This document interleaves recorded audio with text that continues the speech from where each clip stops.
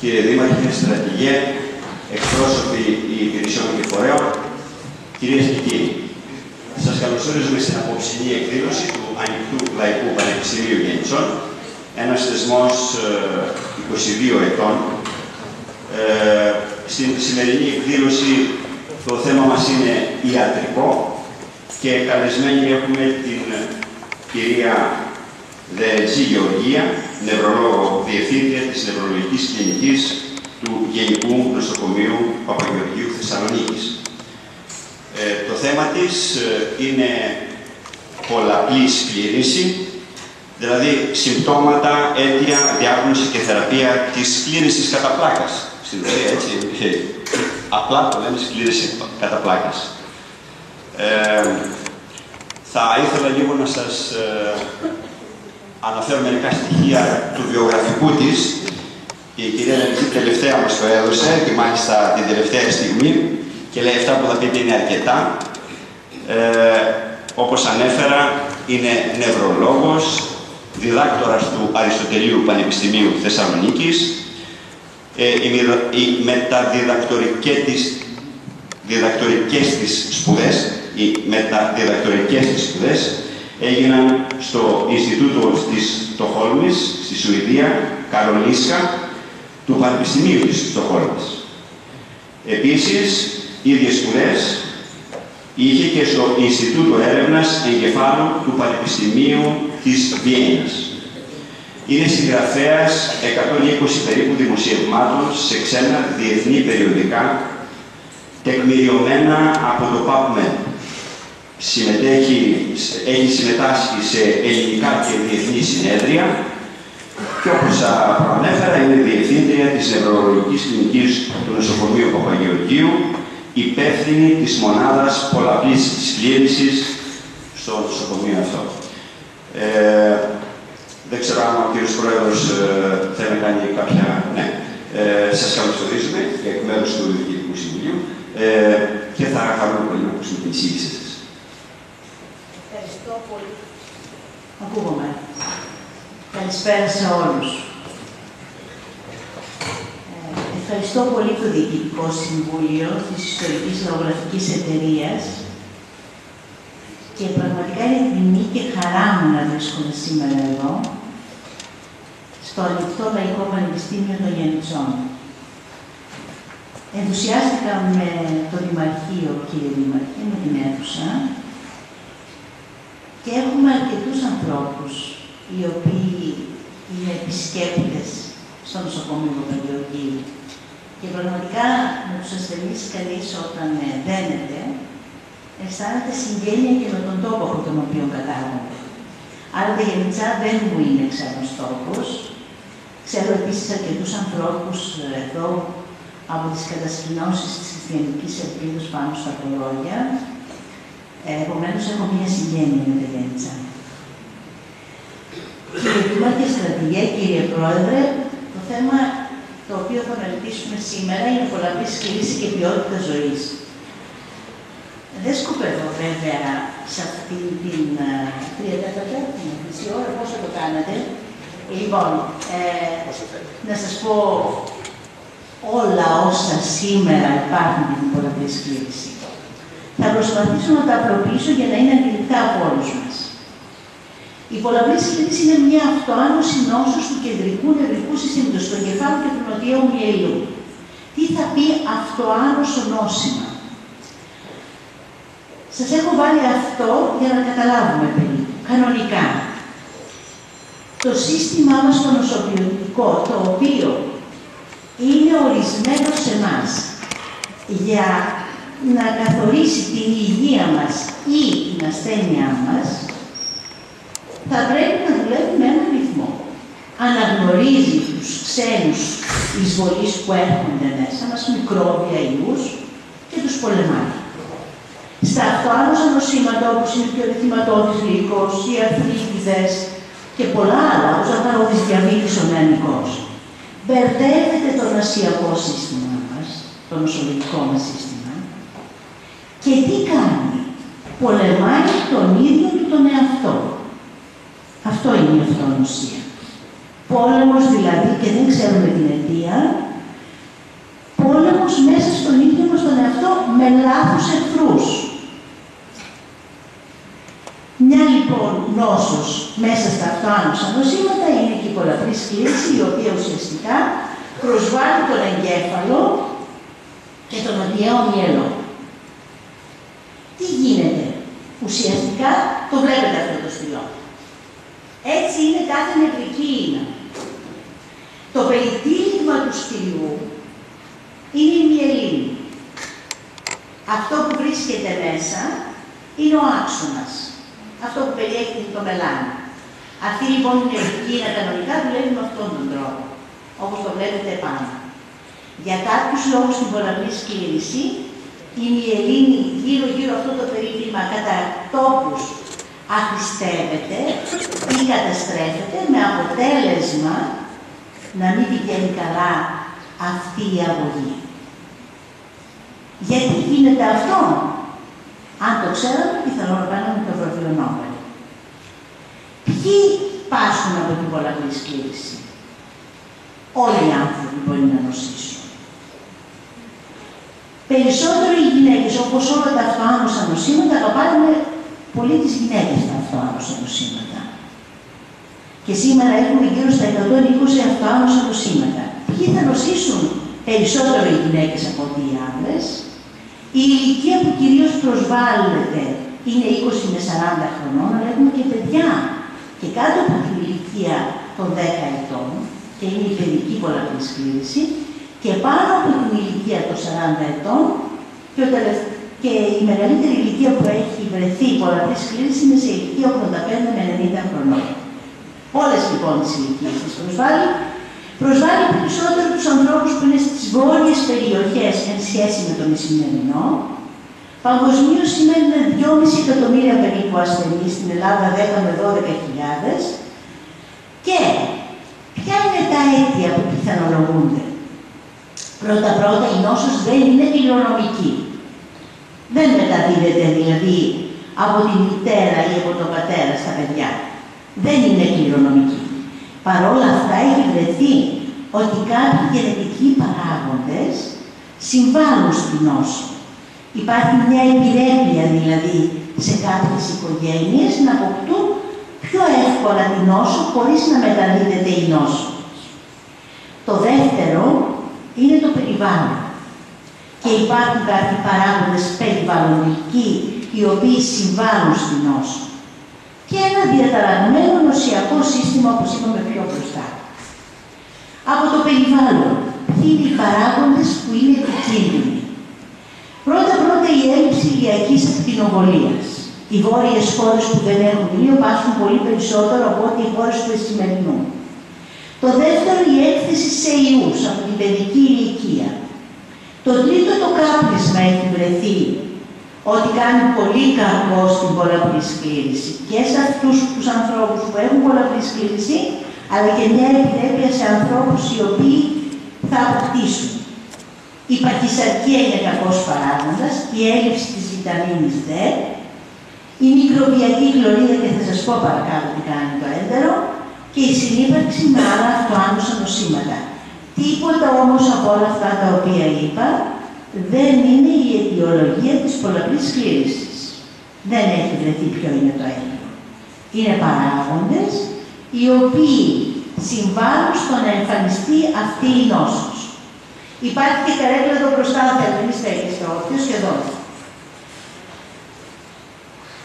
Για την παθογένεση είχα την, ε, τη χαρά και την τιμή να συνεργαστούμε από τους πρώτους κατά πόσο η εταιρική κλωρίδα με πολλές δημοσιεύσεις τις οποίες κάναμε και με τον διάλογο το οποίο στείνεται, και αυτά είναι δημοσιευμένα στο PubMed, ανάμεσα στο μικρό και στο μεγάλο εγκέφαλο. Ο μικρός εγκέφαλος είναι το μεσεντερικό μας. Ο μεγάλος εγκέφαλος είναι αυτός που βρίσκεται μέσα στο κρανίο μας. Υπάρχει λοιπόν ένας συνεχής διάλογος και φαίνεται ότι τα βακτηρίδια τα οποία υπάρχουν στο μεσεντερικό παίζουν πολύ πολύ σπουδαίο ρόλο στην πολλαπλή σκλήρηση και αυτό τελευταία μελετάται παγκοσμίως.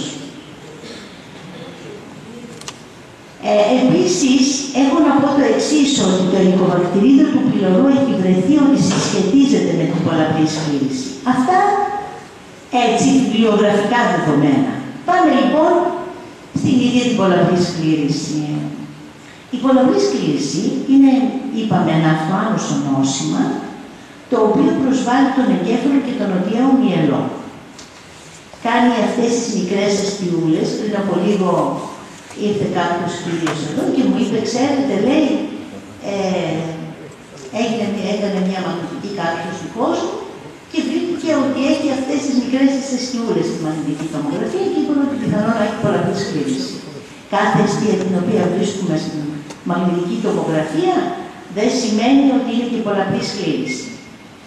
Πάμε λοιπόν στην παθοφυσιολογία, δηλαδή τι γίνεται και δημιουργούνται αυτές οι αιστείες στον εγκέφαλο και στον οτιαίο μυαλό. Πρώτα-πρώτα, στην πολλαπλής σκλήρηση σαν νόσος, πολεμάει όλο το νοσιακό μας σύστημα. Αυτή τη στιγμή που με παρακολουθείτε, όλα τα κύτταρα του εγκεφάλου βρίσκονται σε εγρήγορση. Γιατί, βλέπετε βέβαια με τα μάτια, αλλά αντιλαμβάνεστε με τον εγκέφαλο. Όταν υπάρχει μία νόσος, υπάρχει ένα ιός, ένα μικρόβιο, κινητοποιείται όλο το σύστημά μας. Παλεύει. Τα λευκά αιμοσφαίρια, τα ερυθρά αιμοσφαίρια, τα κύτταρά μας κλπ. Στην πολλαπλή σκλήρηση όλα αυτά παλεύουν μεταξύ τους. Θα μου πεις, και γιατί δεν λυκούν. Ε, γιατί έτσι όταν δεν λυκούν εμφανίζεται η νόσος. Και αυτό είναι σε όλα τα νοσήματα. Γιατί αρρωσταίνει από μια πνευμονία. Περνάει ένα μικρόβιο, έρχεται και σε μένα και εγώ δεν αρρωσταίνω. Πηγαίνει σε έναν άλλο και αρρωσταίνει. Βρίσκεται μέχρι τη μονάδα εντατική θεραπείας. Και υπάρχουν άνθρωποι με έναν ιό της γρήπη που πεθαίνουν. Γιατί; Γιατί το νοσιακό του σύστημα, το σύστημα το οποίο καθορίζει την υγεία και την αρρώστια, είναι διαφορετικό στον κάθε άνθρωπο. Όπως τα δακτυλικά αποτυπώματα. Γι' αυτό κρατήστε το. Γιατί καμιά φορά λέμε, και θα το δούμε παρακάτω, έχει πολλαπλή σκλήρωση, αν θα μείνει στο καρότσι. Λάθος. Πάμε λοιπόν, γιατί παλεύουν όλα αυτά τα κύτταρα. Είναι πάρα πολλά τα κύτταρα του νοσιακού μας συστήματος. Είναι αυτά με τα οποία γεννιόμαστε και αυτά τα οποία αυξάνονται καθώς βρισκόμαστε μέσα στη ζωή, μέσα στα μικρόβια, στους ιούς και ούτω καθεξής. Και όλα τα κύτταρα του εγκεφάλου, τα οποία είναι πάρα πολλά και δεν θα καθίσω σε αυτό γιατί είναι λίγο δύσκολο να τα συλλάβουμε όλα αυτήν την ώρα, όλα και αυτά μέσα στην πολλαπλή σκλήρηση βρίσκονται σε μια συνεχή μάχη και σε ένα συνεχές, συνεχή πόλεμο. Εδώ θα σας δείξω ένα βιντεάκι για να καταλάβουμε περίπου τι σημαίνει αυτός ο πόλεμος ο οποίος γίνεται στην πολλαπλή σκλήρηση. Αυτά τα κύτταρα τα οποία βλέπουμε είναι τα κύτταρα του νοσιακού μας συστήματος, το ΤΑΦ και τα β' λεφοκύτταρα. Τα λεφοκύτταρα αυτά λοιπόν αρχίζουν και ενεργοποιούνται, αρχίζουν και πολλαπλασιάζονται έναντι ενός συγκεκριμένου αντιγόνου που βρίσκεται μέσα στον εγκέφαλο. Και πηγαίνουν, θυμηθείτε αυτό που σας είπα για το άμμοσα, και χτυπούν ακριβώς λάθος αυτό το κομμάτι του κεντρικού νευρικού συστήματος το οποίο ενεργοποιούνται. Αρχίζουν λοιπόν αυτά και πολλαπλασιάζονται μέσω πολλαπλών μηχανισμών Αυτά τα κύτταρα γίνονται πάρα πολλά. Πάρα πολλά το ένα κύτταρο, πολλαπλασιάζεται, πολλαπλασιάζεται, πολλαπλασιάζεται, άπειρα κύτταρα. Και αυτά όλα, τα πολλαπλασιασμένα κύτταρα και τα ενεργοποιημένα έναντι ειδικών κομματιών του εγκεφάλου, περνούν τον αιματογκεφαλικό φραγμό, ένα φραγμό που δεν περνιέται εύκολα στον εγκέφαλό μας και βρίσκονται από την άλλη πλευρά του εγκεφάλου και πάνε τώρα μέσα στον εγκέφαλο από το αίμα εδώ είναι οι νευρικές ίνες που σας έδειξα. Εδώ είναι κάποια άλλα κύτταρα τα μακροφάγα που πάνε αυτά να τα πολεμήσουν και δεν το κατορθώνουν πάντοτε. Γίνεται αυτή η διεργασία και μέσα στον εγκέφαλο και συνεχεία αυτά τα κύτταρα πηγαίνουν, χτυπούν αυτήν την μυελίνη, την γένε και δημιουργείται η απομυελίνωση. Μαζί με αυτά τα κύτταρα που πήγαν στον εγκέφαλο μπήκαν και τα άλλα κύτταρα όπως είναι τα μακροφάγα που έχουν κάποιες ουσίες οξυδοτικές, δηλαδή το οξυδοτικό στρες κλπ. Με αποτέλεσμα, συγχρόνως με τα αντισώματα τα οποία δημιουργούνται, έρχεται και τελειώνει όλη αυτή η διαδικασία και η διαδικασία με αποτέλεσμα να καίγεται πολλές φορές και το μέσα του στυλού που είπε και ο άξονας, εάν δεν κάνουμε κάτι. Συγγνώμη τώρα δεν το πάμε λίγο παρακάτω. Ωραία. Αυτά λοιπόν περίπου γίνεται στον εγκέφαλό μας και στον νοτιαίο μυαλό.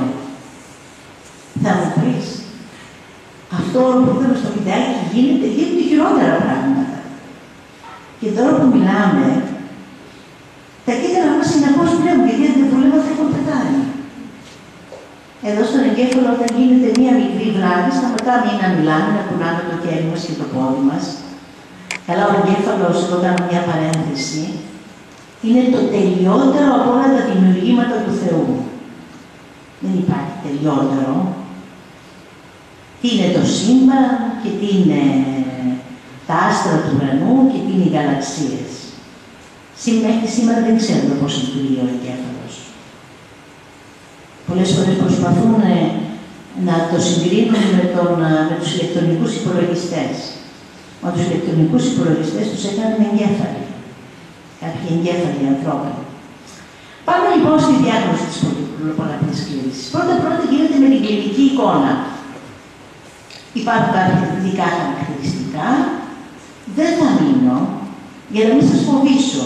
Και ειδικά οι νέοι, μόλις αρχίζουν και μου βιάζουν λίγο τα χέρια τους και τα πόδια τους, επειδή νομίζουν ότι ένα μούδιασμα είναι κακό, αρχίζουν και λένε «Α, σε λίγο θα έχω πολλαπλής σκλήρηση». Όχι.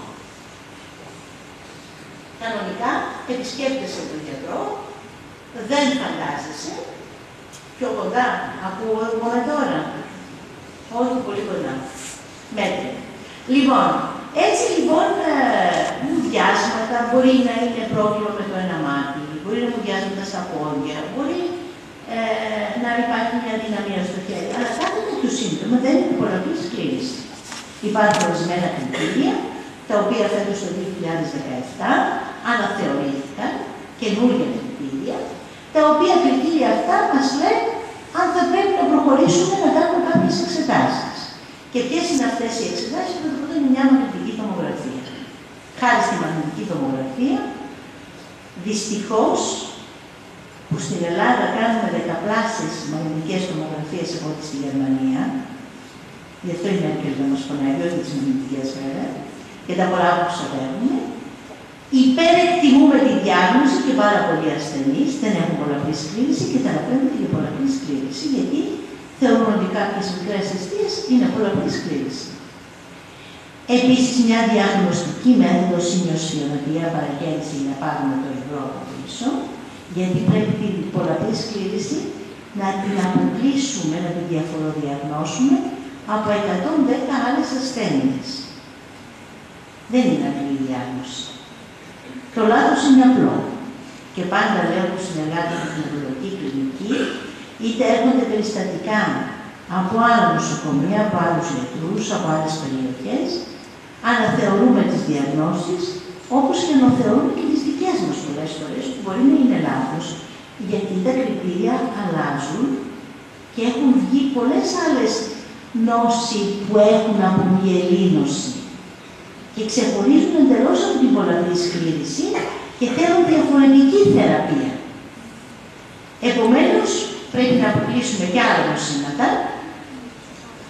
Ωραία, είναι μια, πολλα, μια έτσι πολύπλοκη νόσος που φαίνεται στη μαγνητική τομογραφία με τις εικόνες, τις οποίες κανονικά δεν χρειάζεται να ξέρουμε οι απλοί άνθρωποι να τις διαβάζουμε, καλά να ξέρουμε να διαβάζουμε οι γιατροί.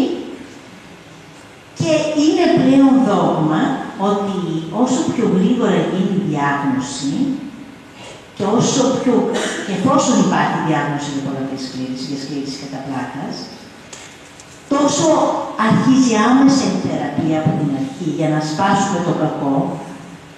Και υπάρχουν σήμερα πολλά θεραπευτικά σχήματα τα οποία μπορούμε να ακολουθήσουμε που είναι ιδιαίτερα για τον κάθε άνθρωπο και σκοπός μας είναι ανεξάρτητα αν οι άνθρωποι έχουν πολλαπλή σκλήρηση, να έχουμε καλύτερη ποιότητα ζωής για αυτούς τους ασθενείς.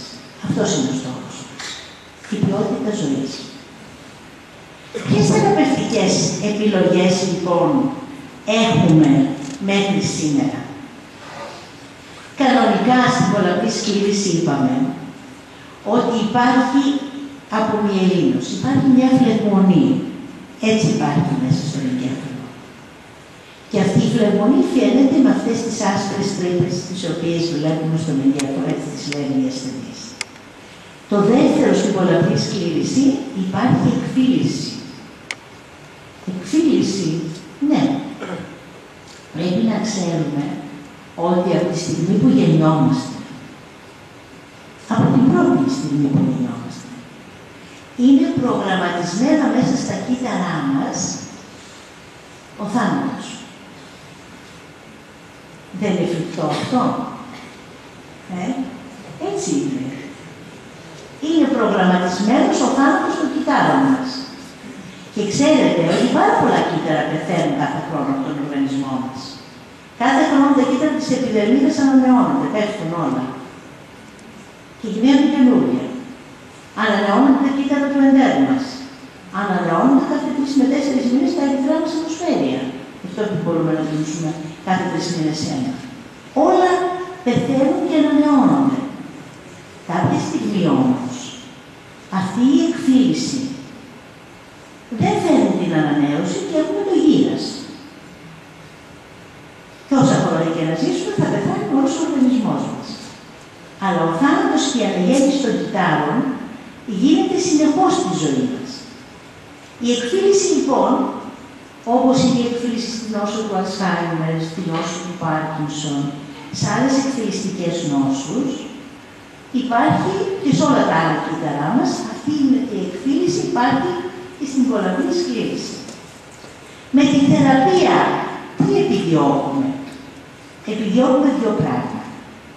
Το ένα, να σταματήσουμε τη φλεγμονή, και αυτό γίνεται κυρίως σε περιπτώσεις όπου έχουμε μία υποτροπή της νόσου, που έχουμε μία όση που τη λέμε, μία χειροτέρευση σε διαγνωσμένη νόσο που χειροτερεύει ο ασθενής, τότε χρειάζεται άμεσα να πάρει κορτιζόνη για να σταματήσουμε αυτή τη διαδικασία της φλεγμονής και επίσης να σταματήσουμε κατά κάποιον τρόπο την ευρωεκφύλιση. Το πετυχαίνουμε 100% αυτό. Δεν το πετυχαίνουμε. Σε μερικούς ανθρώπους το πετυχαίνουμε. Σε άλλους όχι.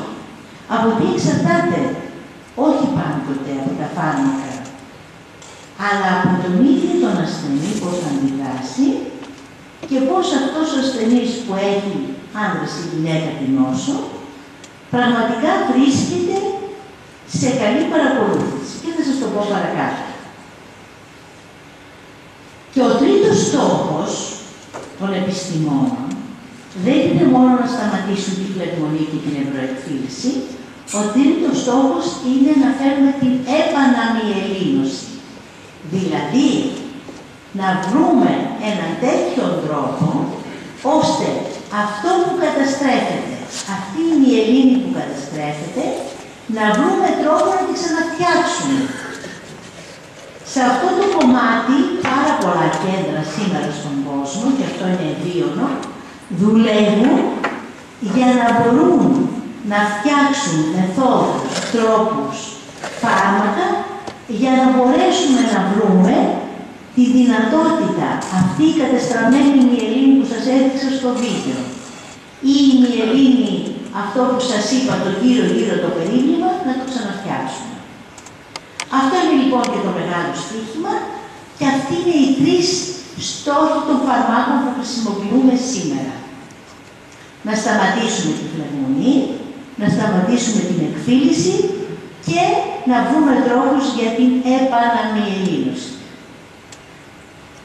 Και έτσι σήμερα έχουμε αυτή τη στιγμή και στην Ελλάδα, και να ξέρετε ότι στην Ελλάδα έχουμε τη δυνατότητα των φαρμάκων όλων για την πολλαπλή σκλήρωση, παρόλη τη φτώχεια μας, δεν την έχουν στην Ευρώπη σε όλα τα κράτη. Περιτώ να σας πω ότι στο Ηνωμένο Βασίλειο, όχι τώρα με το Brexit, αλλά και πριν, δεν είχαν τη δυνατότητα οι ασθενείς να πάρουν ούτε τις απλές ενδιαφερόμενες. Έφτασαν μέχρι το Ευρωπαϊκό Δικαστήριο για να κερδίσουν τη μάχη οι ασθενείς για να πάρουν τα φάρμακα. Βέβαια, σε εμάς υπάρχει ο άλλος αντίποδας, ότι η ασυδοσία η οποία υπάρχει στη χρήση των φαρμάκων και στην ακαταλληλότητα πολλές φορές των φαρμάκων που χρησιμοποιούνται. Όχι σε στοχευμένους ασθενείς. Ό,τι να είναι και όπου να είναι, ή από όποια να είναι, γίνονται τα μεγάλα λάθη και οι μεγάλες παρενέργειες των φαρμάκων που στο τέλος στοιχίζει στους ασθενείς και όχι μόνο οικονομικά στην Ελλάδα. Σήμερα λοιπόν έχουμε τη δυνατότητα στην Ελλάδα να έχουμε τις πρώτες γραμμές φάρμακα που είναι οι εντερφερόνες, εροκοκαψών, που είναι έξι σκευάσματα τα οποία χρησιμοποιούμε.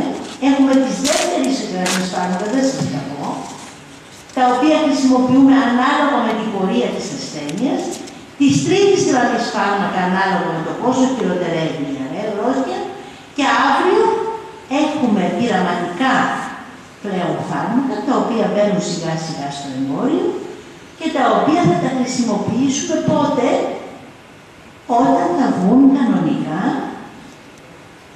στην κυκλοφορία. Σήμερα γίνονται πάρα πολλές στρατηγικές μελλοντικές και προσέξτε το αυτό και για τους συγγενείς σας και για κάποιοι από εδώ που έχετε την αρρώστια, ότι ό,τι να είναι δεν χρησιμοποιούμε όποτε να είναι. Και όποιος έρχεται και μας λέει, ξέρεις, κυκλοφόρησε ένα καινούριο φάρμακο να το πάρω, μπορεί πειραματικά να γίνεται. Για να βγει ένα φάρμακο που ξέρετε στην αγορά πρέπει να περάσουν 10 με 15 χρόνια. Από τη στιγμή που συλλαμβάνεται η ιδέα μέχρι που θα βγει για να πουληθεί. Και γι' αυτό οι κλινικές μελέτες με τις δοκιμές των φαρμάκων μέχρι να φτάσουμε στον ίδιο τον άνθρωπο τα χρόνια είναι 10 με 15. Επαναλαμβάνω. Δεν μπορούμε να χρησιμοποιήσουμε φάρμακα χωρίς να υπάρχουν ενδείξεις. Γιατί είναι μύθος αυτό το οποίο πολλές φορές κυκλοφορεί στο διαδίκτυο; Είναι μύθος αυτό το οποίο πολλές φορές κυκλοφορεί ε, σε διάφορα site και πολλές φορές και στην τηλεόραση. Ότι μπορούμε να μείνουμε για πάντοτε νέοι, παραδείγματος χάρη, όταν πάρουμε αυτή την κάρτα ή μπορεί να είναι η αθανασία όπως η Τζοκόντα, μέσα σε ένα μπουκάλι. Αυτά είναι μόνο για κάποιους οι οποίοι θέλουν να κερδίσουν χρήματα. Και προσοχή στους αγκύρτες οι οποίοι χρησιμοποιούν δυστυχώς την ασθένεια των, των ανθρώπων και των πόνων για να κερδίσουν. Θα πάω λοιπόν στο τελευταίο κομμάτι, το οποίο είναι και το πιο ευίωνο, θα έλεγε κανείς, για την ποιότητα ζωής και την πολλαπλή σκλήρηση. Τι θα πει ποιότητα ζωής, και αυτό είναι κάτι πάρα πολύ καινούριο, όχι ποιότητα ζωής. Είναι κάτι πολύ, και πολύ καινούριο που τελευταία σε όλα τα περιοδικά, τα διεθνή και σε όλα τα διεθνή συνέδρια για την πολλαπλή σκλήρηση, συνεχώς κυκλοφορεί και αναφέρεται. Και το διδαχθήκαμε από τα μικρά μας χρόνια, τουλάχιστον μέσα στην Ορθόδοξη Ελλάδα, όταν οι άνθρωποι πίστευαν, γιατί πλέον δεν ξέρω πόσο πιστεύουμε, ότι αποτελούμαστε από ψυχή και σώμα. Και αυτά τα δύο είναι κομμάτια του ίδιου μας του είναι. Είμαστε και ψυχή και σώμα, ούτε παραπάνω ψυχή, ούτε παραπάνω σώμα. Είμαστε ψυχοσυμωματικά όντα. Έτσι η ποιότητα της ζωής μας γενικώς εξαρτάται από τους σωματικούς παράγοντες, πώς είμαστε καλά στο σώμα, από τους ψυχικούς παράγοντες, αυτοί είναι οι δύο κύριοι πόλοι, και όλοι αυτοί εδώ, δεξιά και αριστερά, είναι οι παράλληλοι, θα έλεγε κανείς, παράγοντες. Οι κοινωνικοί παράγοντες και οι οικονομικοί παράγοντες, οι οποίοι συνθέτουν τη ζωή μας. Αυτό είναι για όλους μας. Η ποιότητα ζωής μας, λοιπόν, εξαρτάται πόσο καλά, και το είπαν οι αρχαίοι μου πρόγονοι, ότι ένα γερό σώμα και μια υγιής ψυχή είναι αυτοί οι οποίοι συνθέτουν την υπόστασή μας και το ίδιο μας. Σε μια ασθένεια αυτά διαταράσσονται. Και όταν είναι και αυτά διαταραγμένα, καταλαβαίνετε τι γίνεται. Τώρα, στην πολλαπλή σκλήρηση, μια ισχυρή επίδραση έχει και η κατάθλιψη και και ο πόνος και η νοητική διαταραχή, η έλλειψη αυτονομίας και η έλλειψη υποστήριξης. Επίσης, για δέστε εδώ, η κόπωση, το άγχος, η δυσχέρεια επικοινωνίας. Ένας πολύ βασικός παράγοντας. Πόσο ένας άνθρωπος μπορεί να επικοινωνεί με τους άλλους, αυτές τις διαπροσωπικές σχέσεις, που δεν είναι εισιτήριο μόνο να πας. Πρέπει να είναι εισιτήριο να γυρίσεις, αναλετούν που λένε. Να πας και να γυρίσεις, αυτές είναι οι διαπροσωπικές σχέσεις. Εάν το, το άνθρωπος έχει χαμηλή αυτοεκτίμηση, τότε οι παράγοντες επηρεάζουν περισσότερο αρνητικά τη ζωή. Τι ζητάει ένας ασθενής από τον γιατρό του; Πάει στον γιατρό, λέει ότι έχει το πολλαπλή σκλήρηση. Λέει ο γιατρός, ή ο ασθενής το ξέρει και πάει για δεύτερη γνώμη, ή ο γιατρός στο τέλος βγάζει μια διάγνωση. Έχεις σκλήρηση κατά πλάτες βάσεις αυτό. Ζητάει να πάρει μια αγωγή, αυτό σκέφτεται, προσδοτικά δηλαδή ο ασθενής, να πάρει μια αγωγή η οποία να είναι αποτελεσματική, έτσι δεν είναι, έχει αποτέλεσμα, να είναι ασφαλής, μην, το, μην πεθάνει από το φάρμακο ή από την ασθένεια, γιατί πολλαπλές κρίσει δεν πεθαίνει αυτή καθ' αυτή, και επίσης θα πρέπει ο γιατρός να ξέρει καλά ποιος είναι αυτός ο άσχολος ασθενής που βρίσκεται μπροστά του και τι φάρμακο πρέπει να δώσει. Επομένως, θα πρέπει ο ίδιος ο γιατρός να ξέρει τι μορφή πολλαπλής κλίση έχει ο ασθενή του. Γιατί δεν είναι μία μορφή πολλαπλής κλίση, είναι σαν μια μεγάλη δεξαμενή. Η οποία δεξαμενή χωράει πάρα πολλά πράγματα. Υπάρχουν μορφές πολλαπλής κλίση, οι οποίες είναι πάρα πολύ ελαφριέ, δεν τις καταλαβαίνει κανείς. Και είναι καλοήθιε μορφές. Υπάρχουν μορφές πολλαπλή κλίσης, οι οποίες έχουν μια κακοήθη πορεία. Υπάρχουν σκλήσει κατά πλάκα μορφές που έχουν υποτροπές υπάρχουν μορφές πολλαπλή κλίσης που έχουν συνεχώ μία πορεία κινούμενη. Πρέπει ο γιατρός να το ξέρει αυτό. Γιατί αν δεν το ξέρει και του δώσει το ασθενή οτιδήποτε φάρμακο, καταλαβαίνετε ότι δεν θα πάει καλά ο ασθενή. Επομένως, αυτό που βασικά προσδοκά ο ασθενής είναι καλή ποιότητα ζωής. Με ό,τι έχει να περνάει καλύτερα. Στο γιατρό έρχονται διάφορα φάρμακα, στον ούτε αυτά που σας είπα, τα 12 τα οποία κυκλοφορούν σήμερα στο εμπόριο στην αγορά, στις φαρμακευτικές εταιρείες και πρέπει να επιλέξει ένα από αυτά. Ωραία, το επιλέγει, το δίνει στον ασθενή και τον ασθενή το στέλνει να πάει στο σπίτι. Θα κάνεις έτσι τις ενέργειε, θα πάρει έτσι το κάτω κλπ. Όμως υπάρχει και άλλος τρόπος για να βελτιώσουμε τη ζωή των ασθενών που πάσχουν από πολλαπλή κλίση. Σας είπα ότι είμαστε ψυχή και σώμα. Είναι κάτι πάρα πολύ βασικό αυτό, το οποίο πρέπει. Είμαστε μια κοινωνία που δυστυχώς στην Ελλάδα, μέσα σε αυτή την κοινωνία δεν έχουμε εντάξει τους ανθρώπους που πάσχουν. Τους απορρίπτουμε λίγο πολύ. Δεν τους έχουμε ε, ενσωματώσει μέσα στο είναι μας. Ίσως έχουμε ένα πρότυπο ότι όλα καλά θα πάνε στη ζωή μας. Στην προσωπική μας, στην οικογενειακή μας, ίσως είναι ένα μοντέλο δυτικό που λέει ότι πρέπει να είμαστε πολύ καλοί, να πάνε όλα καλά, να έχουμε ωραία σπίτια, να έχουμε ωραία αυτοκίνητα, να έχουμε και υγεία. Γι' αυτό είναι υποθούμενο βέβαια. Αλλά δεν είναι αυτή η ποιότητα ζωής πάντα. Το εντάξει όλο και να μην έχει ποιότητα ζωή. Μπορούμε να βελτιώσουμε την ποιότητα ζωής όντω με την πολλαπλής σκλήρηση. Πρώτον, ότι δεν πρέπει ο ασθενής να ξεχνάει το γιατρό του. Ούτε ο γιατρός τον ασθενή βέβαια. Είναι πολύ βασικό. Θα πρέπει να υπάρχει μια καλή σχέση στα χρόνια νοσήματα γενικώς του ασθενή με τον γιατρό και πρέπει να υπάρχει μια σωστή πληροφόρηση. Θα πρέπει ο ασθενής να ξέρει ότι εκτός από την πολλαπλής σκλήρηση υπάρχουν και γενικότερα προβλήματα υγεία για τον καθένα μας. Μπορεί να έχει ψηλή χολυστερόλη, μπορεί να έχει υπέρταση, μπορεί να έχει καρδιακά και αγκιακά προβλήματα, μπορεί να μην έχει καλό ύπνο, ο ασθενής και να νομίζει ότι είναι όλα τα προβλήματά του από την πολλαπλή σκλήρηση, μπορεί να, η δίαιτά του να μην είναι καλή, να μην τρώει καλά και σωστά. Να καταναλύσει και επίσης πολύ αλάτι, να καπνίζει πάρα πολύ που είπαμε. Είναι και άλλα νοσήματα τα οποία δεν έχει προσέξει τον εαυτό του. Επίσης, θα πρέπει κανονικά να είναι σχετικά ισόρροπος. Αυτό πώς θα το κατορθώσει, Είναι πάρα πολύ δύσκολο. Συναισθηματικά προβλήματα, κοινωνικές δραστηριότητες. Γι' αυτό, είτε έχετε στους συγγενείς σας, στους δικούς σας, ανθρώπους που έχουν οποιοδήποτε νόσημα, ή και εσείς αν πάσχετε, ενταχθείτε μέσα στο κοινωνικό γίγνεσθε, στο κοινωνικό σύνολο. Η προσωπικότητα του ανθρώπου και ο άνθρωπος δεν μεταβάλλεται όταν αρρωστήσει. Ούτε όταν γυράσει. Η προσωπικότητα πρέπει να διατηρηθεί με κάθε τίμια. Και διατηρείται γιατί το πρόσωπο είναι το δημιούργημα του Θεού και τον κάθε άνθρωπο. Ανεξάρτητα τι είναι, ποιος είναι, γιατί είναι. Αν είναι υγιής, είναι ασθενής, τον βλέπουμε σαν εικόνα του Θεού. Ένας τρόπος για να βελτιώσουμε λοιπόν τη ζωή μας είναι η άσκηση.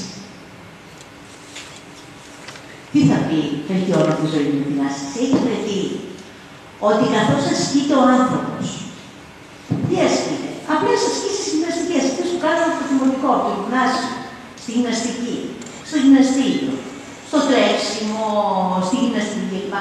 Αυξάνονται μέσα στον εγκέφαλό μας νευροτρόφοι παράγοντες, τους οποίους δεν έχουμε τη δυνατότητα με φάρμακα να τους δώσουμε. Αυτοί οι νευροτρόφοι παράγοντες έχουν βρεθεί ότι κινητοποιούν συστήματα, γιατί και ο πιο έξυπνος άνθρωπος μόνο το 20% του εγκεφάλου του χρησιμοποιείται, άλλο το 80% δεν χρησιμοποιείται. Άρα, με την άσκηση, την πνευματική, την ψυχική, γιατί υπάρχουν και πνευματικές, πνευματικές ασκήσεις. Η σωματική άσκηση αυξάνονται οι νευροτρόποι αυτοί οι παράγοντες, οι οποίοι ουσιαστικά μειώνουν την κόπωση και την κατάθλιψη. Όταν σας πιάνει το αντιφυτικό συνέστημα, μην κάθεστε στο σπίτι. Βγέστε μια βόλτα. Κάντε λίγο γυμναστική, περπατήστε. Μην κάθεστε μέσα στο σπίτι. Πραγματικά. Δέστε κάποιους δικούς σας, κάποιους φίλους σας. Ε, φύγετε από το περιβάλλον το οποίο σας καταφύγει. Περπατήστε. Θα νιώσετε πολύ καλύτερα. Η ίδια η άσκηση δυναμώνει τους μοίρες. Αυτό είναι και για τους υγιείς και για τους ασθενείς. Αυξάνει την ισορροπία. Αυξάνει τους νευροτρόφους παράγοντες, αυτούς που σας είπα, είναι άπλοι νευροτρόφοι παράγοντες, οι οποίοι είναι απαραίτητοι για να κάνουν την μυελίνη, για να λειτουργήσουν τα κύτταρα του εγκεφάλου μεταξύ μας, για να επικοινωνήσουν τα κύτταρα, χρειάζονται αυτούς τους παράγοντες. Σήμερα δεν έχουμε τη δυνατότητα να τους δώσουμε με άλλο τρόπο, να πάρουμε ένα φάρμακο και να τους δώσουμε. Γι' αυτό και σας έδειξα την Τζοκόντα με την αθανασία μέσα σε ένα μπουκάλι. Καθισμένοι στο καναπέ μπροστά στην τηλεόραση, δεν αυξάνουν οι παράγοντες, αυξάνουν παράγοντες της φυλακίας. Αυτό βλέπουμε σήμερα στην τηλεόραση, δυστυχώς. Και έτσι, αυτή τη στιγμή, γινόμαστε περισσότερο μέσα σε εγωικά ανόητοι, ανόητοι είναι χωρίς νόηση. Από ότι ήμασταν χθες και προχθές. Έχει λοιπόν ο εγκέφαλό μας τη δυνατότητα να αναγεννάται, όπως αναγεννώνται όλα τα κύτταρα του σώματός μας. Πότε, όταν το χρησιμοποιούμε, όταν διαβάζουμε, όταν μελετούμε, όταν κάνουμε πνευματικά πράγματα. Δηλαδή προσευχή. Και όποιος μπορεί να την έχει. Και όποιος μπορεί, και αυτό είναι δώρο του Θεού. Η μελέτη, οποιοδήποτε βιβλίο, όχι η τηλεόραση. Και επαναλαμβάνω, γιατί στην τηλεόραση υπάρχει τέτοια κίνηση της εικόνας που δεν μπορεί να τη συλλάβει ο εγκέφαλό μας. Το διάβασμα. Το κλασικό διάβασμα. Αυξάνει λοιπόν την αναγέννηση στα κύτταρά μας. Θα σας δείξω μερικά πράγματα τι κάνουμε στη μονάδα πολλαπλής κυρίω του Παπαγεωργίου. Πρώτα πρώτα έχουμε ασθενείς, και θέλω να το πω αυτό γιατί είναι ένα υποδειγματικό κομμάτι των ασθενών μας, οι οποίοι μας έχουν διδάξει και εμάς τι μπορούν να κάνουν. Αυτά όλα τα οποία θα σας δείξω είναι έργα ασθενών τα οποία για έκτη χρονιά, έβδομη χρονιά μέχρι πέρσι, ε, στις ημερίδες που κάνουμε για την πολλαπλή σκληρήση και θα σας την ανακοινώσω που έχουμε στην 2 Δεκεμβρίου, ε, έχουν παρατηρηθεί εκεί στο Λόγκι του νοσοκομείου άνθρωποι οι οποίοι πάσχουν από πολλαπλή σκληρήση δεν ήξεραν να ζωγραφίσουν και δημιουργούν έργα. Απίστευτα έργα. Θα σας τα δείξω λοιπόν, α, πριν βάλω αυτό θα σας δείξω λίγο το τμήμα γυμναστικής που έχουμε ε, και το δημιουργήσαμε μαζί με το Πανεπιστήμιο της Κολονίας σε ένα project το οποίο αναπτύξαμε για ασθενείς με πολλαπλή σκλήρηση με τις ασκήσεις. Και τι βρήκαμε σε αυτό; Αυτοί είναι οι ασθενείς οι οποίοι ασκούνται στο νοσοκομείο δύο φορές την εβδομάδα ε, και το έχουμε δημοσιεύσει ότι η ποιότητα ζωής τους μετά από έξι μήνες άσκηση, δύο φορές την εβδομάδα, και εδώ κάνω επίσης μια παρένθεση, η άσκηση δεν είναι ότι κάνω μία φορά την εβδομάδα, μία ώρα ή δύο ώρες, είναι ότι κάνω κάθε μέρα. Η ποιότητα ζωής τους λοιπόν ήταν πολύ καλύτερη, σημαντικά καλύτερη, η κατάρτισή τους, η κίνησή τους, οι δραστηριότητε τους και ειδικά η αυτοδιαχείρισή τους ασθενών οι οποίοι ασκήθηκαν σε σχέση με τους ασθενείς που δεν ασκήθηκαν συστηματικά ήταν πάρα πολύ καλύτερη, σημαντικά, στατιστικά σημαντικότερα. Και έτσι από αυτή την ομάδα βγήκε και πρωταθλητές. Βγήκε ο Ευρυπίδης ε, στα Βαρέα, ο Μανώλης πρωταθλητής και σας το δείχνω γιατί μας έδωσαν τις φωτογραφίες να σας τις δείξουμε. Είναι ασθενείς μας οι οποίοι στην κολύμβηση, η Μάρθα η οποία δεν μπορούσε να περπατήσει, πρωταθλήτρια δρόμου, έχει μαραθώνιο, ήταν πολύ συγκινητικό όταν πήραν το βραβείο, το μετάλλιο που μας το έφεραν και το έχουμε στην κλινική ένας από αυτούς. Και λίγο θα σας δείξω τα έργα των ασθενών. Ασθενείς τα ζωγράφησαν αυτά. Ασθενείς τα ζωγράφησαν αυτά, που δεν ήξεραν να ζωγραφίσουν. Αυτά είναι αυτό την έκθεση είναι μέσα στο νοσοκομείο. Δεν στα έργα ασθενών. Άρα βρήκαν την ποιότητα ζωής. Ε, και θα σας πω εδώ ένα συντηρητικό που πραγματικά πάντα το λέω, από μια στιγμή μου, η οποία άρχισε να ζωγραφίζει στα 45 της, δεν ήξερε να ζωγραφίζει. Είπε λοιπόν το σύζυγό της, φέρε μου σε παρακαλώ Τέλος πάντων, κάποια εργαλεία τα είδε στο διαδίκτυο, είχε κάνει κάποια σκίτσα πρώτα και φέρε μου κάποιες βολιέ, τη Σπανίγγιλε, το Καραβάζο, το έβαλε στο σαλόνι. Αλλά επειδή είχε μια δυσκολία λίγο στο χέρι της, έχει κάνει πάρα πολύ ωραία έργα, κάποια έργα είναι και στιγμής, Κυριακή τη λένε, πραγματικά η ζωή της είναι σαν Κυριακή, ε, καθώς ζωγράφιζε, της έφυγαν οι βολιές και το σαλόνι, γιατί εκεί ζωγράφιζε, πιτσιλίστηκε. Έρχεται ο σύζυγός της απ' έξω, ήδη με το τηλέφωνο, μπαίνει μέσα και ήταν πολύ στενοχωρημένη η Κυριακή. Και λέει ο σύζυγος της, τι λέγεις έτσι. Αφού άρχισες να ζωγραφίζεις και ξέρω ότι ζωγραφιά, ζωγραφιά, ζωγραφική, σε χαροποιεί, λέει, κοίταξε ρε παιδί μου, λέει, δες τι έκανε το σαλόνι. Και η απάντηση του συζύγου. Τώρα το σαλόνι έχει το δικό σου χρώμα. Το σαλόνι έχει τώρα Κυριακή το δικό σου χρώμα. Αυτή μετά ζωγραφίζει συνέχεια. Δεν ήταν δηλαδή το βασικό του μόνο που ζωγράφιζε. Ήταν και ο σύζυγος που χαράμιζε οποιοδήποτε σαλόνι προκειμένου να της πει αυτό το τόσο ρομαντικό, αλλά και τόσο μεγάλο δεχτή. Ζωγραφιές λοιπόν διάφορες, έργα των ασθενών, πάρα πολύ όμορφα, δέστε, δέστε ζωγραφίες που έχουν κάνει. Αυτό ήταν ένα τεράστιο δέντρο που το έκανε μία ασθενής μας. Είναι, ήταν τρία μέτρα ένα έργο που το έκανε από τι λέτε. Όλα αυτά είναι με γάζες. Απίστευτο έργο. Κομμάτια κομμάτια γάζας, το δέντρο της ζωής. Απίστευτο. Ένα τεράστιο δέντρο. Μετά από αυτά λοιπόν για την ποιότητα ζωής, είναι εφικτά. Δεν είναι ουτοπιστικά. Δεν είναι κάτι που μπορεί να φανταστεί κανείς. Θα σας πω μερικούς μύθους οι οποίοι κυκλοφορούν. Πρώτα-πρώτα, ένας μύθος ότι οι πολλαπλείς δεν ισχύουν. ότι είναι θανατηφόρος νόσος. Έχεις πολλές κλίση, θα πεθάνεις. Το δεύτερο θα καταλήξεις σε εμπειρική καρέκλα. Λάθος. Παθαίνεις πνευμονία, πεθαίνεις. Κάθε πνευμονία δεν πεθαίνει. Εντάξει. Ε, παθαίνεις γρήπη, πεθαίνεις. Αλλά κάθε γρήπη δεν πεθαίνει. Μόνο περάσαμε γρήπη. Αφού δεν υπάρχει θεραπεία για την πολλαπλή κλίση, δεν μπορεί να γίνει τίποτα για μένα. Όχι, υπάρχει. Θα πρέπει να σταματήσω να δουλεύω. Όχι, θα πρέπει να συνεχίσει να δουλεύεις.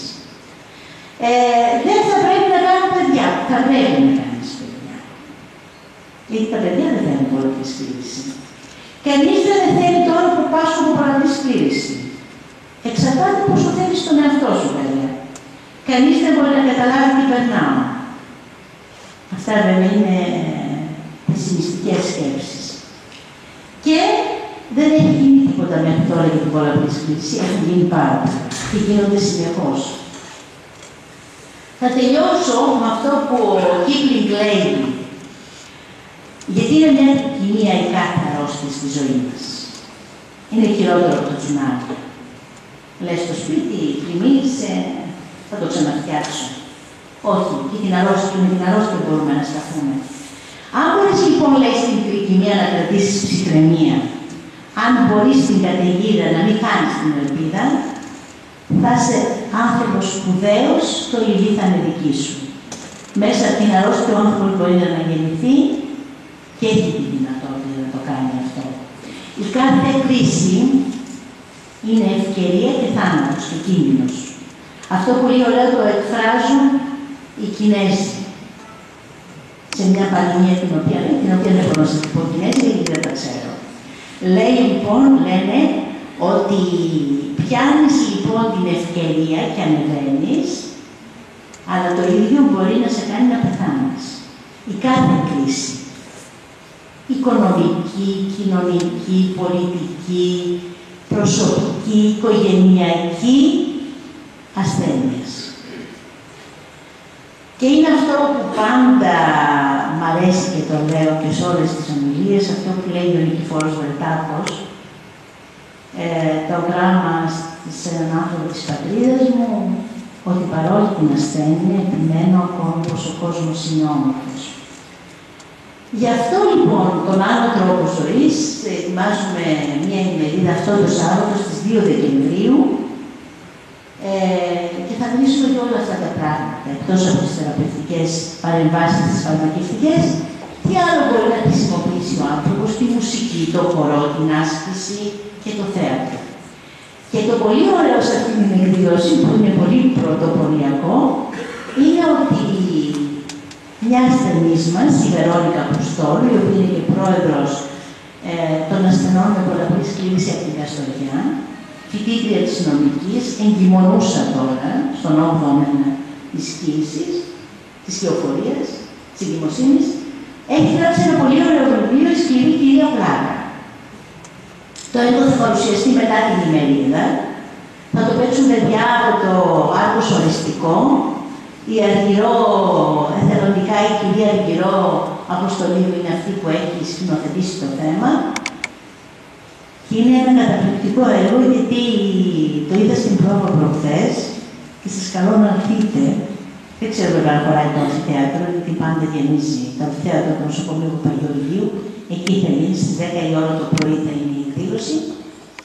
Ε, ήταν και ηλεκτρολόγοι και ηλεκτρονικοί, οι οποίοι στην αρχή μου λέγανε Αχ, πώς θα φέρουμε τα έδρα να πίσω, γιατί έπρεπε να κάνουμε πρόβλημα τα παιδιά.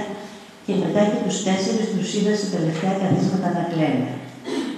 Εγώ έγραψα πολύ βέβαια, γιατί είμαι πολύ ευαισθητοποιημένη στο θέμα των ασθενών με πολλαπλή σκλήρηση.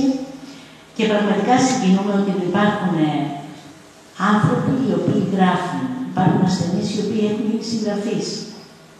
Πέρσι είχαμε διαβάσει ένα πολύ ωραίο βιβλίο από μια ασθενή άλλη, η οποία έγραψε ένα ωραίο βιβλίο «Κανένας πίνος δεν σταματάει όταν και λαϊδούν τα ειδόνια». Δεν σημαίνει δηλαδή ότι όταν δεν μπορεί κανείς να τραγουδήσει σαν τα ειδόνια, δεν μπορεί να είναι και σπίτι. Αυτά λοιπόν είχα να σας πω. Έχω τελειώσει την ομιλία μου. Νομίζω ότι είναι ένα περίγραμμα της νόσου και θέλω να συμπερασματικά να πω. Η νόσος παλεύεται. Η νόσος μπορεί να την διαχειριστεί κανείς με τη βοήθεια του γιατρού, των γιατρών, με τη βοήθεια των καταλήλων κέντρων που υπάρχουν σήμερα, αλλά και με την ίδια βοήθεια για τον ίδιο τον εαυτό του, να την αυτοδιαχειριστεί τη νόσο. Η νόσος δεν είναι θανατηφόρος, η νόσος είναι κομμάτι της ζωής και πάντα λέω εγώ στους ασθενείς μου το εξής. Να γίνετε καβαλάριδες και να εφητεύσετε πάνω στην αρρώστια. Να μην σας, κινητώ, να μην σας πάρει από κάτω. Εσείς θα κυβερνήσετε το άλλο. Όχι αυτή η αρρώστια. Είναι μικρότερη από εσάς. Γι' αυτό υπάρχει δυνατότητα να διαχειριστούμε κάθε είδους ασθένεια. Σίγουρα υπάρχει περίοδος της προσαρμογής με την ανακοίνωση της αρρώστιας, αλλά η νόσος παλεύεται. Και όσο παλεύει ο ίδιος ο άνθρωπος, τόσο μεγαλουργεί και έχει τη δυνατότητα να μεγαλουργήσει. Γιατί ο κόσμος δεν σταματάει να είναι όμορφος, ανεξάρτητα από τι πάσχει ο καθένας. Ευχαριστώ.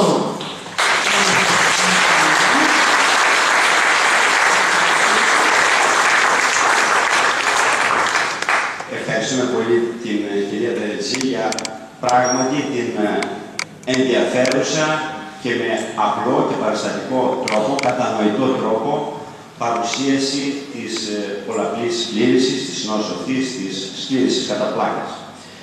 Ε, δεν ήταν μια έτσι ξεχωριστή παρουσία, κύριε Δήμαρχε, έτσι απόψινη. Ξέρετε, η, η κυρία Δερετζή, ε, εκτός από τον ε, νοσοκομιακό χώρο στον οποίο καθημερινά βρίσκεται και ασχολείται, έξω νοσοκομιακά ασχολείται με, ως εισηγήτρια ε, σε κύκλους μελέτης της Αγίας Γραφής, τακτικότατα, και επίσης είναι και ποιήτρια. Ε, αυτό δεν συντηρεί λίγο στο να μας παρουσιάσει κάπως διαφορετικά την ε, εισήγηση και όχι με ξερό, σαν μια ξερή ιατρική διάλεξη. Έτσι δεν είναι. Ε, νομίζω και απευθυνόμενο σε εσάς κύριε Δήμαρχε ότι ε, θα πρέπει να έρθετε να απευθύνετε ένα χαιρετισμό και στην ε, συγκίτρια, γιατί οι πρώτες δεκαετίες νομίζω βρισκόσασταν μαζί σε κάποια νοσοκομιακή μονάδα, αλλά και στο κοινό. Είχαμε πολλά χρόνια να εκδοθούμε με τον Δήμαρχο σε μια άλλη εκδήλωση την οποία είχε γίνει στην Πέρια και τον ευχαριστώ που ήταν εδώ πέρα, πραγματικά. Καλησπέρα σας. Όντως είναι η δεύτερη φορά που ανταμώνω με την κυρία Δερετζή. Η προηγούμενη πριν από 10 χρόνια, τότε εγώ ήμουν 45, λίγο με, με προκάλεσε τόσο ώστε να πω θα ασχοληθώ με την ιατρική. Δυστυχώς όμως οι συνθήκες και οι καταστάσεις ε, με οδήγησαν στο να παρακολουθώ τα ιατρικά θέματα μόνο διαδικτυακά.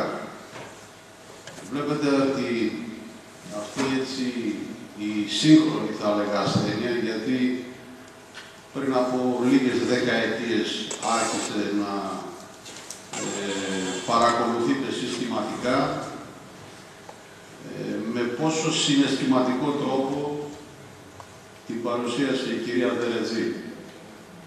Όλοι οι γιατροί φυσικά ασκούν λειτουργήμα. Αν ας πούμε ακούγαμε έναν ορθοπαιδικό, κράτ, φρούτς, κόμπου, κόκαλακί, πάρε και ένα κηδεμόνα ή μια πατερίτσα και ε, πορεύσουν τώρα τέλος πάντων η αποθεραπεία. Αυτή η νόσος όντως εκτός από το καθαρά ιατρικό ιατρικό κομμάτι, τη φυσιολογία της δηλαδή. Είδατε ότι έχει στοιχεία ψυχολογίας.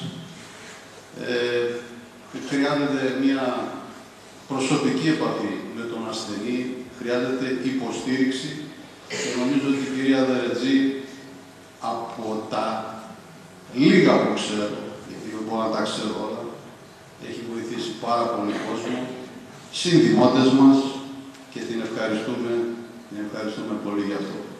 Θα είστε καλά. Ευχαριστούμε κύριε Δήμαρχε.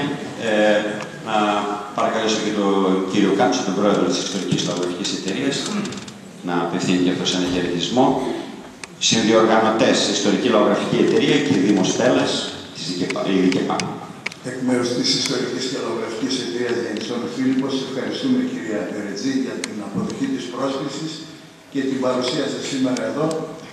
Μας παρουσιάσατε ένα πολύ σημαντικό ιατρικό θέμα που απασχολεί πολλούς συμπατριώτες μας και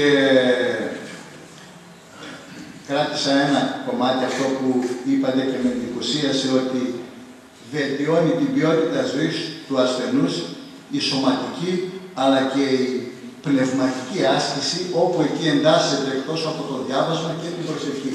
Και είναι κάτι σημαντικό νομίζω, ειλικρινά και εγώ συμφωνώ και το αποδέχομαι. Ε, αναφερθήκατε σε θεραπείες φαρμακευτικές για αντιμετώπιση της φλεγμονής και του εκφυλισμού των κυτάρων, αλλά αναφέρεται κάποια στιγμή και στην επαναμιελίνωση. Αυτό σημαίνει ότι μπορούμε να έχουμε μία πλήρη αποκατάσταση του ασθενούς σε κάποια χρονική περίοδο ή απλά να βελτιώσουμε, να σταθεροποιήσουμε την κατάσταση. Ξέρω κάποιες περιπτώσεις ανθρώπων που ενώ για χρόνια πολλά θα έλεγα είχαν συμπτώματα όχι τόσο με βραδία εξέλιξη, ξαφνικά σε ένα χρόνο μέσα ή σε ενάμιση είχε μια ραγδαία εξέλιξη νόσος αυτή. Και ένα τελευταίο. Συζητάμε πολλές φορές εδώ και λέμε ότι υπάρχει έξαρση στην περιοχή μας της ασθένειας αυτής. Έχει γίνει κάποια μελέτη έτσι... Επιδημιολογική. Επιδημιολογική, ναι. Ευχαριστώ πολύ και πάλι. Να είστε καλά. Να είστε καλά κύριε Πρόεδρε. Ε, στο πρώτο ότι ίσως δεν το έθιξα πολύ, ε, ότι υπάρχουν διάφορες μορφές πολλαπλής κλίσης. Δεν είναι ένα κομμάτι. Είναι μια δεξαμενή. Και πιστεύω, και δεν το πιστεύω μόνο εγώ, το πιστεύει όλη η επιστημονική κοινότητα, ότι από αυτές τις μορφές κάποιες θα ξεχωριστούν γιατί είναι ιδιαίτερα νοσήματα.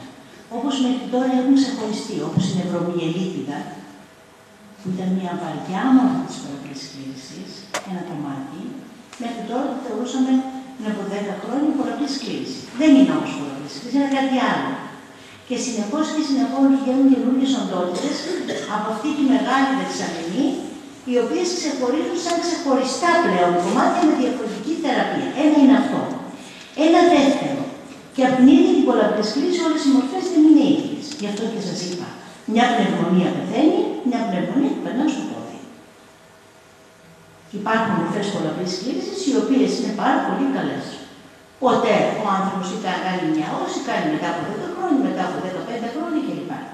Υπάρχουν όμως οι μορφές οι οποίες ξεκινούν πολύ δύσκολα. Αυτές είναι γύρω στο 10% και οι οποίες επιδεινώνονται και πολύ γρήγορα. Τα φάρμακα τι κάνουν; Δεν θεραπεύουν τις ίδιες αυτές τις βλάβες που έχουν δημιουργηθεί. Τα φάρμακα τα οποία δίνουμε προσπαθούν να προλάβουν τις καινούργιες βλάβες. Σήμερα όμως δεν έχουμε φάρμακα για την επαναμιελίνωση. Γίνονται πολλές πειραματικές μελέτες αλλά δεν έχουμε κανένα φάρμακο που να φέρνει την επαναμιελίνωση. Όμως, έχει βρεθεί σε κάποιους ασθενείς και σε πειράματα και σε ανθρώπους ότι ο ίδιος ο οργανισμός έχει τη δυνατότητα να επιφέρει την επαναμιελίνωση. Πώς γίνεται αυτό, δεν τους ξέρουμε όλου τους παράγοντες. Έχει έχουν βρεθούν, έχει βρεθεί ότι υπάρχουν κάποιες πρωτενε, κάποιοι δρόμοι έτσι, βιοχημικοί και βιολογικοί, που ευνοούν την επαναμιελίνωση. Αλλά δεν ξέρουμε στο τέλος γιατί αν το βρίσκαμε, θα βρίσκαμε και την τέλεια θεραπεία της ασθένειας. Η ασθένεια, όπως και όλες οι αυτοάνωσες νόσοι, εξαρτάται από ένα πολύ βασικό παράγοντα, από τον ίδιο τον άνθρωπο που την έχει. Όπως παραδείγματο χάρη ο ζαχαρότης διαβήτης, ο νεανικός. Όπως είναι και ο ρυθματώδη λύκο. Όπως είναι οι σπονδυλοπροπάθειε, κάποιες αυτοάνωσα νοσήματα. Όπως είναι κάποια αυτοάμεσα νοσήματα των οφθαλμών, οπτικέ νευρίτιδες, οι οποίες είναι μόνο το των ματιών. Εξαρτάται δηλαδή από τον ίδιο τον οργανισμό. Ποιο είναι αυτό το background, το, το υπόβαθρο του οργανισμού, θα έχει και την ανάλογη ασθένεια.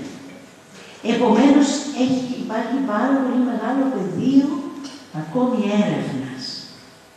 Το ευχάριστο είναι ότι γίνεται έρευνα. Και δεν σταματάει. Και σήμερα ξέρουμε αυτά που λέμε, αύριο μπορούμε να ξέρουμε πολύ περισσότερα. Σήμερα ξέρουμε 10 πράγματα και αύριο μπορούμε να ξέρουμε 100. Και αύριο μπορεί να βρεθεί ένα φάρμακο το οποίο τα προηγούμενα να τα καταργήσει και να πει: Κοιτάξτε να δείτε, αυτό είναι το φάρμακο και το βρήκαμε. Τα φάρμακα όμως, οι θεραπείε, εκείνο που έχει όμως να κάνει ένα ασθενή που έχει την νόσο, και οποιαδήποτε νόσο, είναι να μην καθυλωθεί γιατί έχω την νόσο. Είμαι άρρωστο. Τελείωσε. Όχι. Έχω την νόσο και η νόσο είναι μικρότερη από μένα. Παράλληλα μαζί μου. Δεν σταματώ να ζω. Ό,τι και αν έχω. Δεν σταματώ να υπάρχω.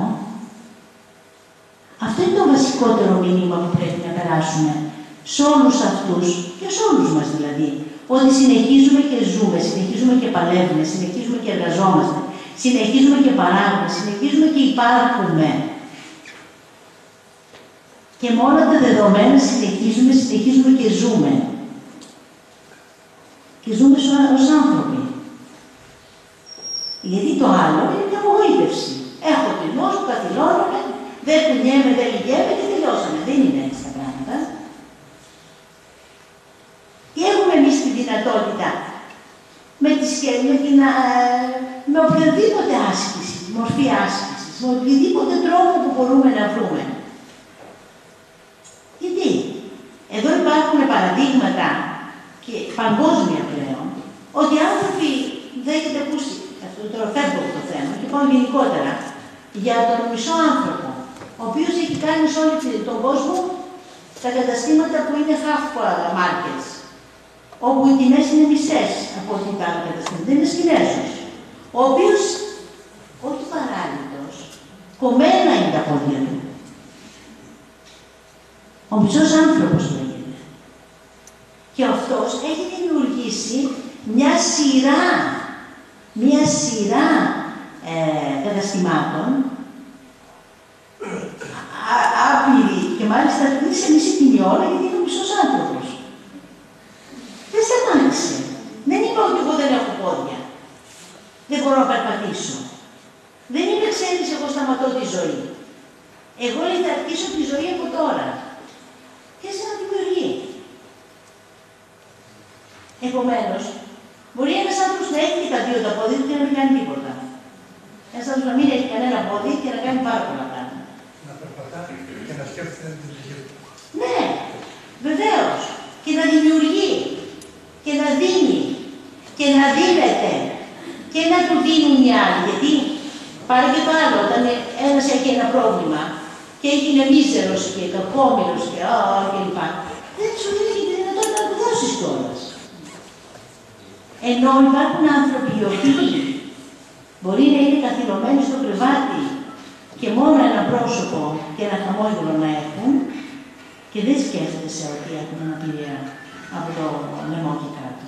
Γιατί; Γιατί η έκφρασή τους, η χαρά τους, το γέλιο τους, η κοινωνία τους, η επικοινωνία τους είναι αυτό που είναι ο άνθρωπος. Αυτό είμαστε. Η ψυχή μας είναι. Είναι μεγαλείο ο άνθρωπος. Ε, πάνω στο θέμα αυτό, εδώ η Χελώνα, η οποία ζει και πολλά χρόνια, το κακοκύτι του κουβαλάει σε όλη τη ζωή. Άρα εμείς θα μπορούμε να υπομένουμε λίγο αν τόσο ελάχιστα μας έρθει μια τέτοια κατάσταση. Εγώ προσωπικά σε κανένα ασθενή, σε κανένα ασθενή δεν θέλω να κάνει υπομονή. Αλήθεια σου το λέω.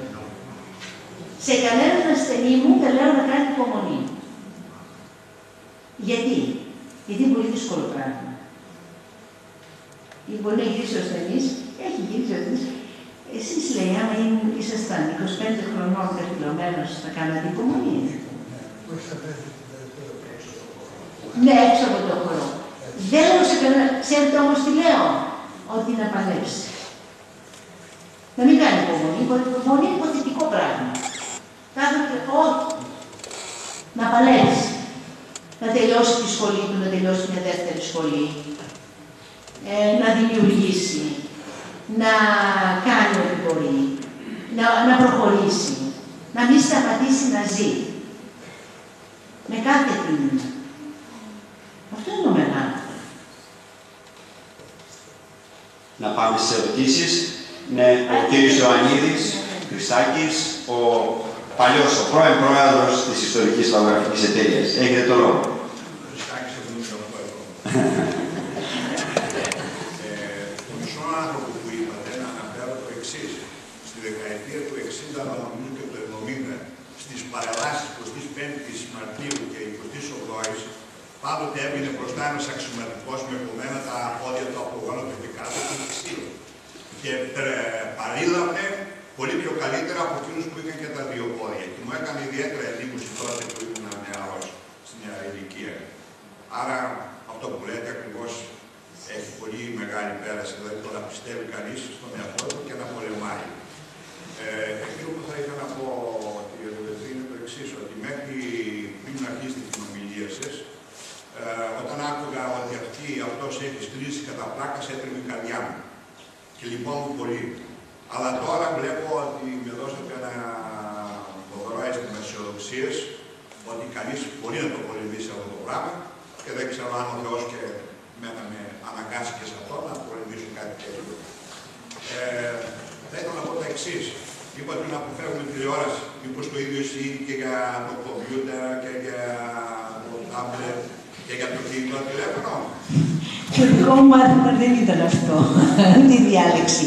Απλώς θέλω να πω να μην καθυλωνόμαστε και τα σχήματα τα οποία πλέον ε, έχουν μπει στην καθημερινή μας ζωή, με οποιοδήποτε τρόπο, με αυτά που λέτε τέλος πάντων, με όλη την ηλεκτρονική παιδεία εντός εισαγωγικών, ε, νομίζω ότι είναι- θα φτιάξει και φτιάχνει διαφορετικούς ανθρώπους, διαφορετικό είδος ανθρώπων. Εντάξει, αυτό είναι ένα πολύ μεγάλο θέμα. Εγώ απλώς το ανέφερα για να μην καθηγόμαστε κανείς άνθρωπος όλα αυτά. Ε, Ναι, κύριε Χρυσάκη. Ένα άλλο που ήθελα να πω είναι το εξής. Ε, ότι παραπλήσια άμοσα ε, νοσήματα μπορούμε να τα πολεμούμε με τον ίδιο τρόπο που είπαμε. Όλα τα αυτοάνωση, όχι όλες τις ασθένειες. Και τον καρκίνο. Παραδείγματος χάρη τα αρθρωτικά, ας πούμε, που τέλος πάντων έχω. Πώς θα τα εξαρτώ. Δεν έχετε αυτοάνωση, εσείς είστε λόγω εκφύληση τα, τα, τα αρθρωτικά σας. Ναι. Υπάρχουν παιδιά τα οποία είναι με αρθρίτιδε αυτοάνωση που δεν μπορούν καλά να πιάσουν. Αυτά είναι τα αυτοάνωση. Λόγω εκφύληση όλοι πονάνε, και εγώ πονάω. Τα αρθρωτικά, ναι, βεβαίως. Εγώ έχω να αναφέρω, να αναφέρω τη μητέρα μου, η οποία είναι 86 χρονών, που γυμνάζεται κάθε μέρα και δύο φορές πάει γυμναστήριο. Ναι. Και η οποία είναι εντάξει. Ε, εσείς σίγουρα και που δείξετε να κάνετε. Όχι, το κάνει μόνο σε Λοιπόν, άλλη ερώτηση αν υπάρχει. Έχουμε και άλλες ερωτήσεις. Ναι. Σε κάποια στιγμή δείξατε ένα χάρτη και παρατήρησα ότι η ασθένεια αυτή κυρίως υπάρχει στα πολιτισμένα κράτη και όχι στον δεύτερο και τρίτο κόσμο. Τι συμβαίνει; Απλώς ε, δεν ε, έχουν γίνει μελέτες, αλλά τώρα και από την Αφρική και από την Ασία υπάρχουν πάρα πολλές διαφορετικές μορφές υπάρχουν και εκεί. ευχαριστήσουμε από αυτή την έδρα το εσπερινό Λύκειο Γιάννητσών που τακτικά η κυρία Δερετζή μας κάνει την ε, επίσκεψη και παρακολουθεί τις εκδηλώσεις του Ανοιχτού Λαϊκού Πανεπιστημίου. Ε, και λόγω αντικειμένου απόψε το αναφέρω, ε, επίσης ε, παρούσα είναι και η πρόσωπος, η πρόεδρος στην ουσία του, των φίλων, ε, του Συλλόγου Φίλων του Νοσοκομείου, ε, επίσης, να σας ε, ενημερώσω ότι αν έχουμε σήμερα την κυρία Δερετζή εδώ, σε αυτό συνετέλεσε ε, η κυρία Μαρία Οικονόμου, η οποία είναι και μέλος στην ε, Επιτροπή του Ανοιχτού Λαϊκού Πανεπιστημίου. Και εγώ προσωπικά, σαν υπεύθυνος του Ανοιχτού Λαϊκού Πανεπιστημίου, οφείλω να την ευχαριστήσω. Ε, και, και να πάμε στην επόμενη ερώτηση. Και να πάμε στην επόμενη ερώτηση που είδαμε στο βάθος ένα χέρι ή λάθος κάνω; Η κυρία, η κυρία με το... Ναι, η ερώτηση, η κυρία, ναι, η αδερφή της κυρίας Οικονόμου. Αλλά το έχουμε οικογενειακό απόψε. Ναι, και μετά...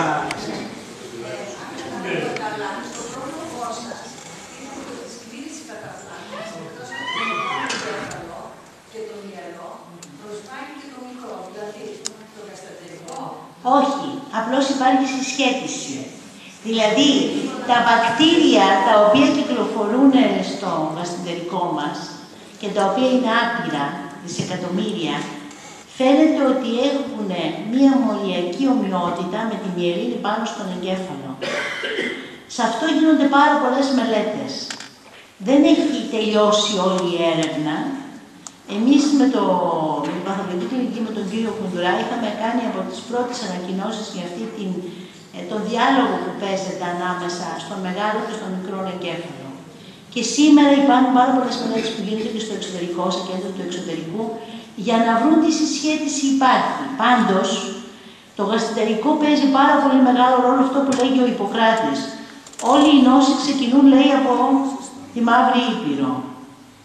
Εκεί και εκεί υπάρχει ο θάνατος. Δεν έχει τελειώσει η έρευνα για τελικά αποτελέσματα. Απλώς το ανέφερε γιατί είναι κάποιες μελέτες οι οποίες έχουν προοπτική και μέλλον. Εντάξει. Ναι.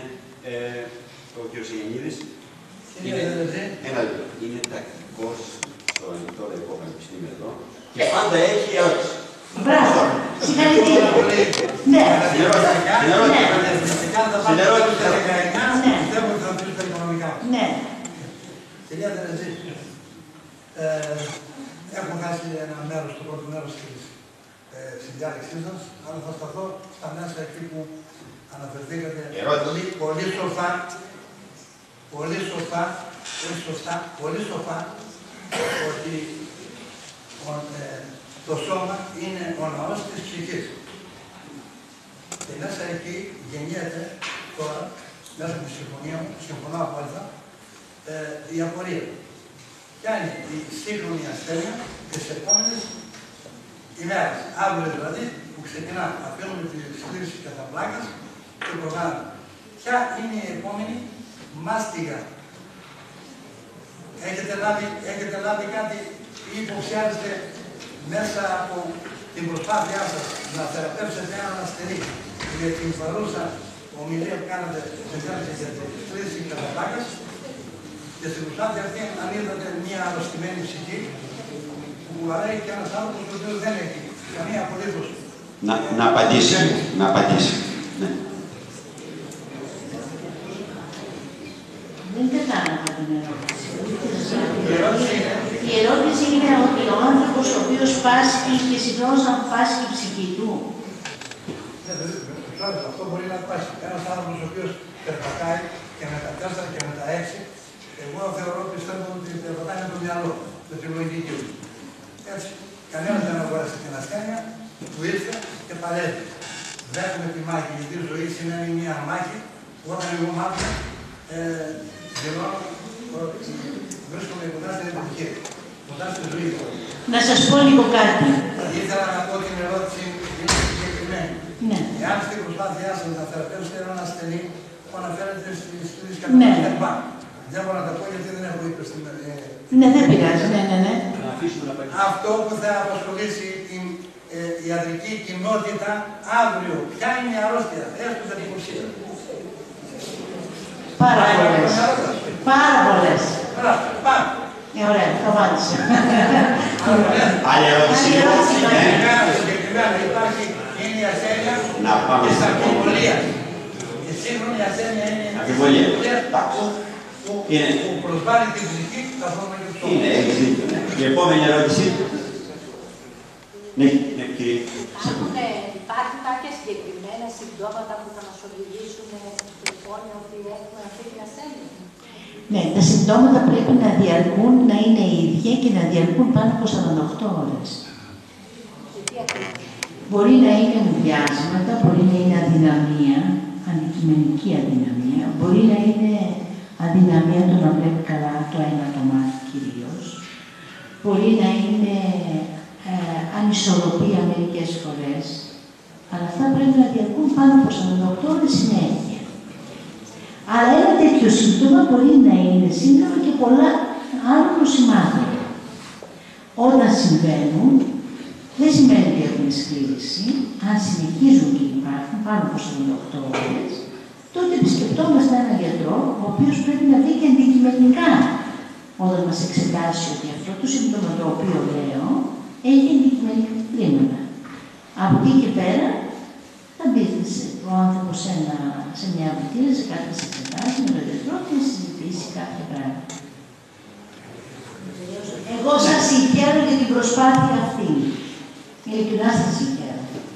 Και τον Δήμαρχο και το Διοικητικό Συμβούλιο που κάνετε τέτοιες εκδηλώσεις. Και είναι καλά να τις παρακολουθείτε. Γιατί όποιος και έρχεται ο μιλητής για να μιλήσει, έχει να δώσει κάτι. Κινητοποιεί το μυαλό του ανθρώπου. Ασκείται. Μαθαίνει. Είναι πάρα πολύ βασικό το να υπάρχουν αυτές οι εκδηλώσεις στις πόλεις μας. Και μεγάλη ευλογία νομίζω παρόλο τον κόπο ανθρώπου να τις οργανώσουν, γιατί δεν είναι και εύκολο. Ευχαριστώ και για την τιμή και τη χαρά που με καλέσετε σε όλα αυτά. Και εμείς για να σας ευχαριστούμε.